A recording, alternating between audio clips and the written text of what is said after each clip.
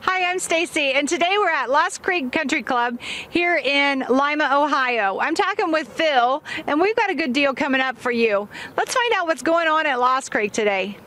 Hi, Phil. Hi, how are you? I'm good. Good.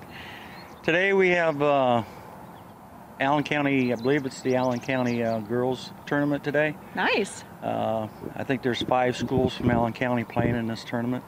So that's the high So- schools. That's all the high schools. Okay. So they're out playing now, and I think they started at 10 o'clock. Now, is that just today, or does that go on a That's couple just today. That's just today. Correct, correct. All right, we're going to check out what's going on out on the green.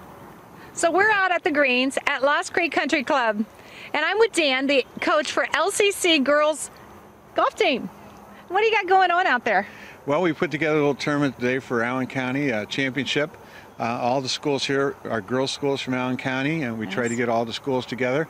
Little championship. Who's going to be the best girls' team in Allen County? Nice, nice. As you can see, there's a lot of fun today at Lost Creek. So on Simply Half Off, you can get your deal for Lost Creek Country Club. It's a $38. You get two people, 18 holes with a cart. That's a great deal. Come on out to Lost Creek. They're all having fun.